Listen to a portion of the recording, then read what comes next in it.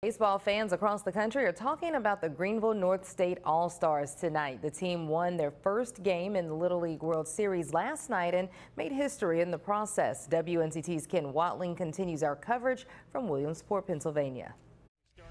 It turned out to be a history-making start to the Little League World Series for Greenville North State. Three pitchers combined to throw a perfect game, the first in the Little League World Series since 2008. There to see it, hundreds of North State fans, friends, and family members. That includes former Greenville Mayor Allen Thomas and his family. If someone checked the population in Greenville right now, it may be cut in half. There are so many people from eastern North Carolina here, and uh, not just from Greenville. I've seen a lot of people from all over North Carolina here to support. And as Williamsport turns into Greenville North, those not here are watching on television, and so are many, many more across the nation.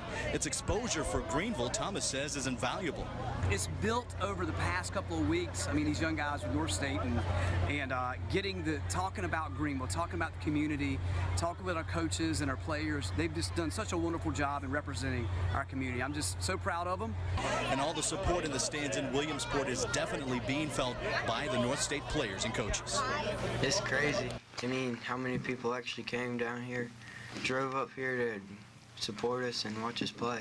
They have been behind us um, really since the state tournament, and um, you know, it, it doesn't surprise me, but did I think it was going to be really like that? Um, they were loud. Um, they were they were like the you know the tenth man up there, um, and we're, we're going to need those folks because we, we're going to be playing some great teams.